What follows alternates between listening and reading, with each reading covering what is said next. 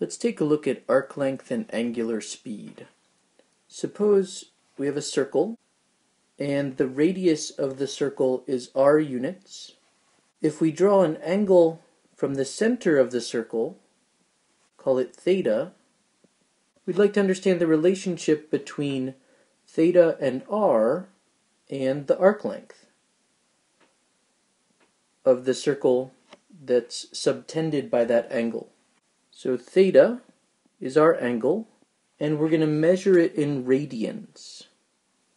We'll use the letter S to represent the arc length, and a phrase for this we can say this is the arc subtended by theta.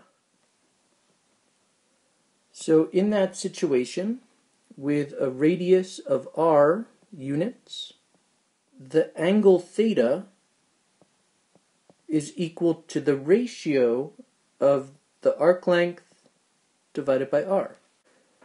In a unit circle, when r equals 1, theta is simply just equal to the arc length, because if the radius equals 1, theta equals s. So in the unit circle, the actual angle measure is, is directly related to the arc length. For other circles, if the radius is anything other than 1, the arc length is going to be longer, but it's going to be exactly longer based on the size of the radius. So we can actually take this formula and we can think of it in this form, or if we multiply both sides by r, we could also consider this relationship to, to say that the arc length is going to equal theta times r.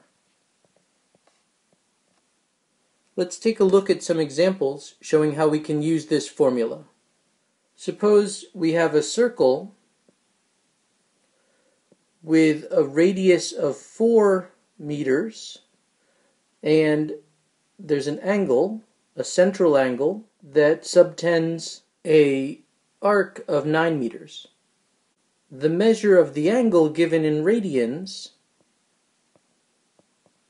is going to be 9, the value of the arc length, over 4 the value of the radius. The 9 and the 4 both have units attached. They're both in meters, but because it's a ratio, those meters cancel out. And so the value of theta actually is, well, it's in radians, but it's kind of a unitless number, 9 fourths, or as a decimal, 2.25. We could say that that's 9 fourths or 2.25 radians, or, or rad. But in a way, we don't have to because radians, just by themselves, radians are not really a unit. So it's a unitless measure of angle size. Let's take a look at a more applied example.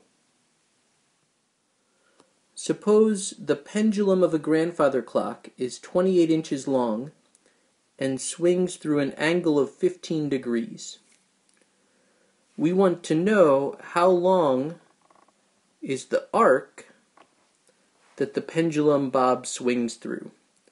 So the pendulum bob is this part of the pendulum. Let's label the clock here with what we know. We know that the length of the pendulum is 28 inches.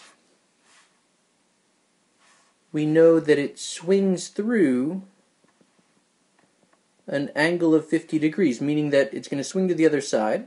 It's going to swing back and forth. And the angle in between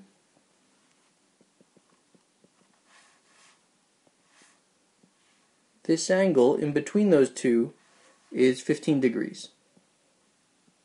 So we'd like to know the length, we'd like to know the length of the arc down here, how what is the actual distance measurement in inches uh, of the pendulum, pendulum swinging back and forth, of, of the pendulum bob.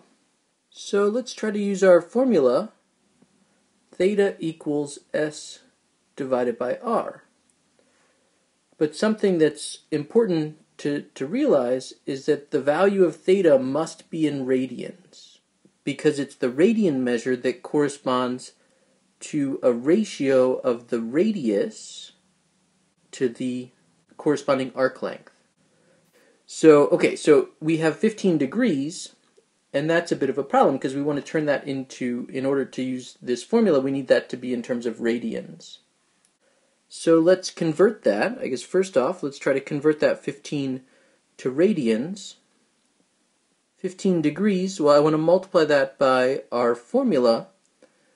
So we're going to use the formula that 180 degrees is equal to pi.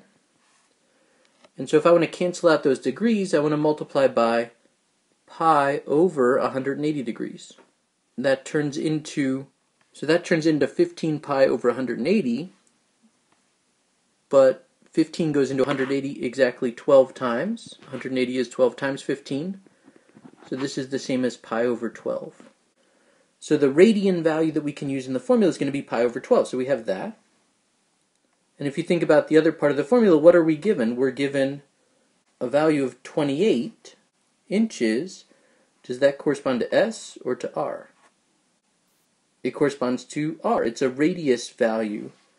If you think about this pendulum, it, it doesn't do this, but the pendulum, it, you know, it could theoretically swing in a circle, and so that 28 represents a radius value.